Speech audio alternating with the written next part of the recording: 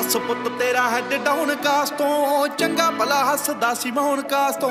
ਆ ਜਿਹੜੇ ਦਰਵਾਜ਼ੇ ਵਿੱਚ ਬੋੜ ਚੱਕੀ ਖੜੇ ਆ, ਮੈਂ ਚੰਗੀ ਤਰ੍ਹਾਂ ਜਾਣਦਾ ਆ ਕੌਣ ਕਾਸ ਤੋਂ। ਕੁਛ ਇੱਥੇ ਚਾਂਦੀ ਚਮਕਾਉਣਾ ਚਾਹੁੰਦੇ ਨੇ, ਕੁਛ ਤੈਨੂੰ ਫੜ ਥੱਲੇ ਲਾਉਣਾ ਚਾਹੁੰਦੇ ਨੇ। ਕੁਛ ਕੰਨੇ ਆਏ ਇੱਥੇ ਭੁੱਖੇ ਫੇਮਦੇ ਅੱਗੇ ਆਉਣਾ ਚਾਹੁੰਦੇ ਨੇ। ਮੁਸੀਬਤ ਤਾਂ ਮਰਦਾਂ ਤੇ ਪੈਂਦੀ ਰਹਿੰਦੀ ਐ। ਦਬੀ ਨਾ ਤੂੰ ਦੁਨੀਆ, ਸਵਾਦ ਲੈਂਦੀ ਐ।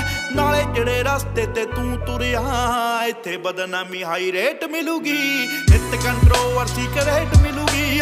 ਧਰਮਾਂ ਦੇ ਨਾਮ ਤੇ ਡਿਬੇਟ ਮਿਲੂਗੀ।